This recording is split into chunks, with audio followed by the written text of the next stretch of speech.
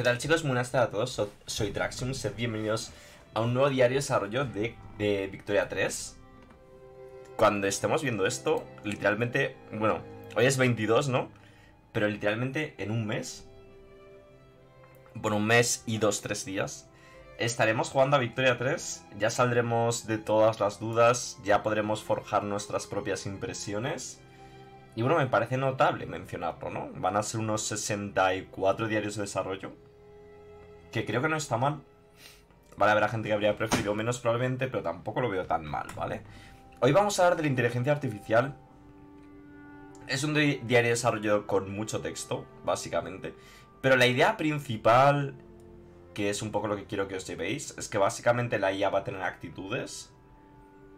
Y en función de esas actitudes, pues van a actuar de una manera distinta o no. Parece un poco redundante, pero es un poco la idea, ¿vale? Dice eso que queda bastante poco para el lanzamiento del juego. Y que lo que están haciendo básicamente en este tiempo es arreglar bugs y retocar la inteligencia artificial, ¿vale? Dicen que el rendimiento de la IA es subjetivo y lo que puede ser una buena IA eh, puede ser algo distinto para cada jugador. Pero bueno, lo que se han planteado con Victoria 3 es que la IA pues tiene que hacer un poco el mismo juego que haces tú. Aquí no está viendo esto entero. Vale, utilizando las mismas funciones, enfrentarse a las mismas restricciones, eh, no tener ventajas artificiales. Vale. Uno de los objetivos es que la IA debe hacer cierto roleplay. No estar simplemente dedicándose a optimizar al máximo todo lo que puede hacer en la partida. Debe ser transparente y clara su actitud. Debe ser modeable. Y ni ser demasiado aleatoria ni demasiado determinística, ¿no? Demasiado determinada. Entonces tiene que haber como un grado ahí de que la IA la líe y ese tipo de cosas, ¿no? En fin, la mecánica central de, Victoria de la IA en Victoria 3 son las estrategias de la inteligencia artificial. Va a haber tres, una es la administrativa, la otra es la política y la otra es la diplomática. La administrativa decide cómo desarrollar su economía, la inteligencia artificial, cómo equilibrar los presupuestos. La eh, política estratégica, etcétera, ¿no?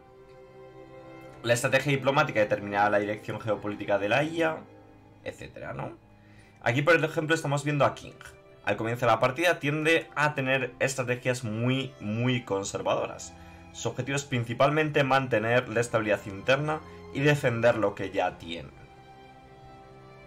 Es un imperio absoluto. Y vemos que sus estrategias son aplacar a las masas, preservar el mandato celestial y defender las fronteras. Dice que esto es algo más amplio que simplemente unas guías eh, específicas para la inteligencia artificial. Por ejemplo, va a haber países que busquen unificar a Alemania. Etcétera, ¿no?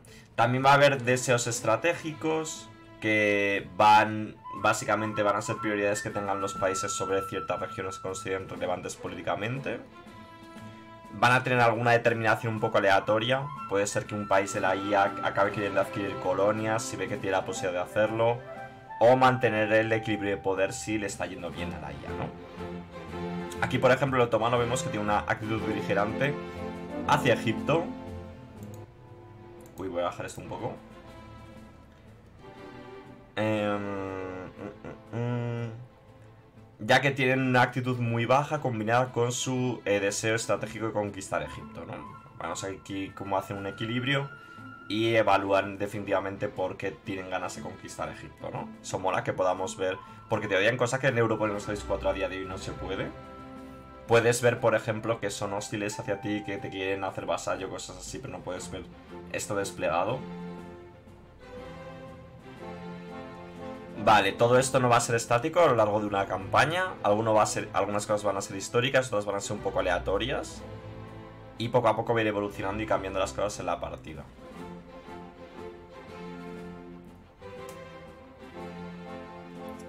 Bueno, pues eh, van a tener también variables de gasto a nivel económico para poner eh, órdenes de compra y órdenes de venta. Para que vaya variando un poco el mercado y tal. Tenemos, por ejemplo, las granjas de trigo. Eh, y bueno, cómo va cambiando con el paso del tiempo. lo que generan, lo que gastan, etcétera.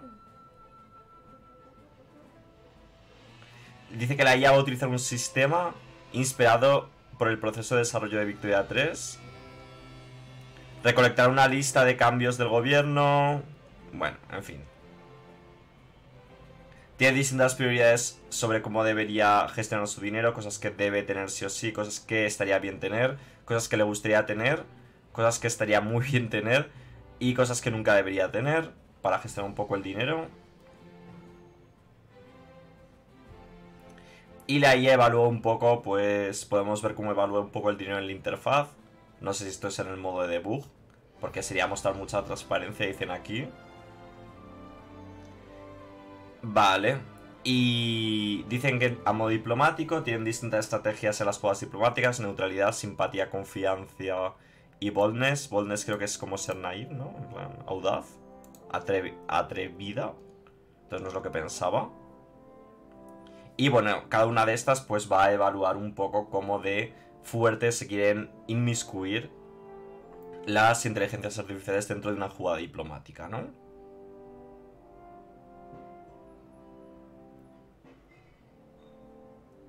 Por ejemplo, aquí vemos que eh, con este país que no sé cuál es, estás intentando, es un país africano creo, y estás intentando convencer a Gran Bretaña para que se una tu preferencia, pero parece que no quieren por distintos motivos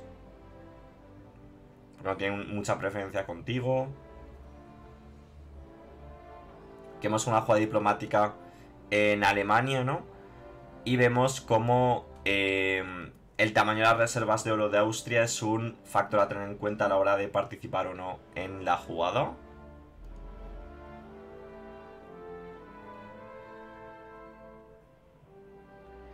Y todo esto va a evaluar cómo de agresiva sea la inteligencia artificial. También vamos a tener distintas reglas dentro de la partida para decidir cómo queremos que sea de agresiva la inteligencia artificial hacia el jugador o en general cómo de agresiva vaya a ser la partida, ¿no?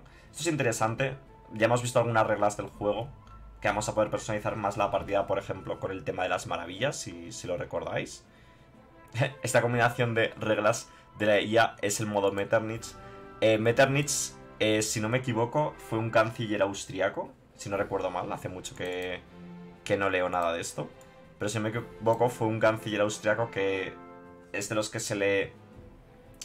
Se le. se decía, ¿no? Que era de los auspiciadores de la estabilidad o del equilibrio de poder que se, da, que se dio en esta época, ¿no? Junto a Guizot.